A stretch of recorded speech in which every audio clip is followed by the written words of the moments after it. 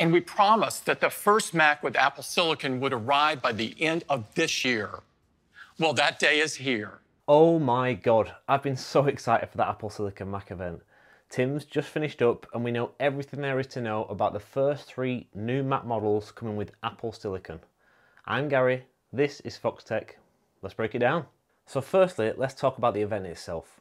Apple somehow managed to make them even better every single time. There were about a million transitions where I was just sat there in awe and enjoying the experience of watching. The visuals and the effort they go through to make it visually enjoyable to watch is just second to none. Apple do these virtual pre-recorded events better than anyone and it's not even close really. The production quality, it was seriously impressive and for someone that's starting to get into creating videos more, I was baffled how they managed to pull off most of it. The music that added to it too, everything just works so well together and it's up there with WWDC as my favourite event of 2020. Now, on to the juicy stuff though, the Apple Silicon Macs. There were three announced and they're all running on Apple's new M1 chip, which is the first chip designed specifically for Mac. They really pushed two things, high performance while bringing improved power efficiency. On previous Macs, many different components were used alongside each other, but now in the M1, everything's on one SoC, which makes it way more efficient. It's the first ever 5 nanometer computer chip and it includes 16 billion transistors. Now that sounds like a lot to me. It's got an 8 core CPU with 4 high performance cores and 4 high efficiency cores. The high performance cores are used for heavy workloads and individually Apple say they are the world's fastest CPU cores. The four high efficiency cores are used for lighter tasks but bring great performance at less power. The M1 brings the best CPU performance per watt. They showed a graph comparing CPU performance to power and it's seriously impressive. They say that the M1 delivers significantly higher performance at every power level and that's illustrated in this graph. It can reach the peak performance of the latest PC laptop chip whilst using a quarter of the power. That's absolutely mental. They explain it's a three times improvement in performance per watt, which is exactly what they're going for. Better performance using less power. The GPU has 8 cores and this graph shows significant improvements in performance once again across the board, reaching peak performance of a latest PC laptop chip at a third of the power.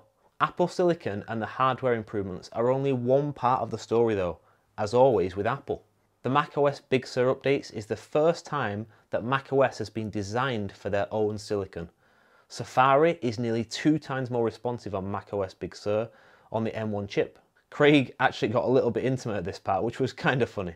They say they've got the most advanced security of any personal computer. All of their apps are now optimized for the M1 chip and Final Cut Pro can render a timeline up to six times faster. That's great for all the video editors out there. Also, iPhone and iPad apps can run directly on Mac now. Crazy. Throughout this event, it was all about speed and power. It's all about going faster without really trying as hard.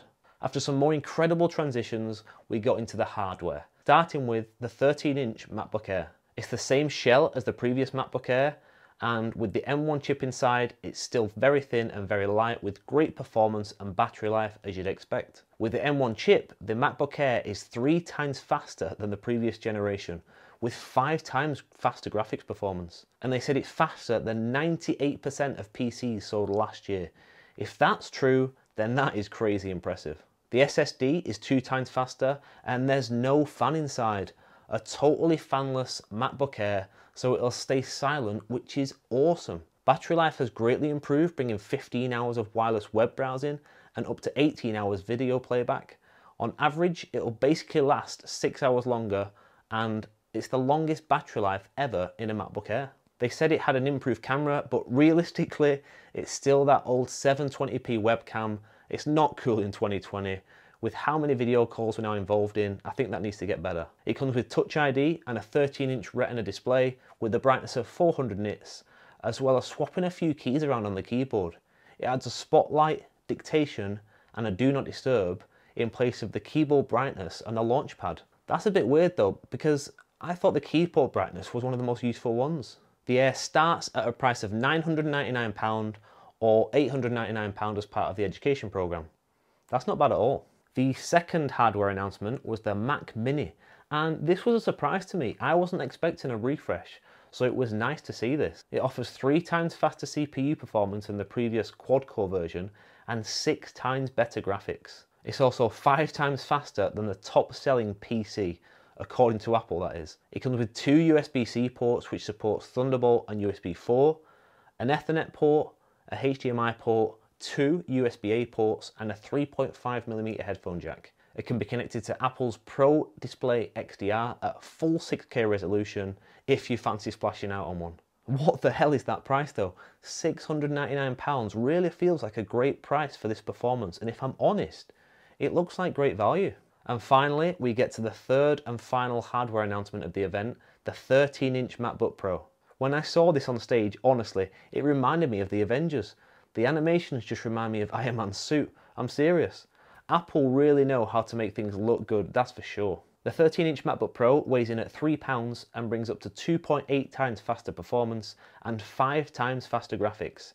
It's up to 3 times faster than the best-selling Windows laptop in its class. Machine learning is up to 11 times faster than the previous generation. It comes with a fan, so it's got an active cooling system in this one, which should help with that high performance for longer. Battery life is looking great on the MacBook Pro with up to 17 hours of wireless web browsing and up to 20 hours of video playback, which is 10 hours more than the previous model.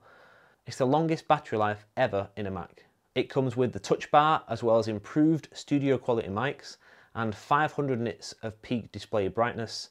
The camera is again that same old 720p webcam, which is annoying, but maybe next year we'll finally get a HD webcam. The 13 inch Pro has two USB-C ports which support Thunderbolt and USB 4, but only having two of them is a real shame. With the previous 13 inch MacBook Pro, you could get a model with four ports, so it's a bit disappointing that there's only two here. Finally, it comes at a starting price of £1,299 or £1,199 on the education programme. On the Pro compared to the Air, you're getting two hours more battery life, better speakers, better microphones, a touch bar, an active cooling system, and 100 nits brighter screen. The base MacBook Air only has 7 CPU cores compared to the 8 on the Pro, but when you spec them out the same, the only real differences are the ones that I mentioned, and the price difference is about 250 quid. I'm really unsure about something though. If the MacBook Air doesn't need a fan, and it has the same M1 chip inside, then why does the Pro need a fan? Does the fan actually help or do they not really know yet? The MacBook Air looks great, totally silent and fanless. It's awesome, just like the iPad Pro.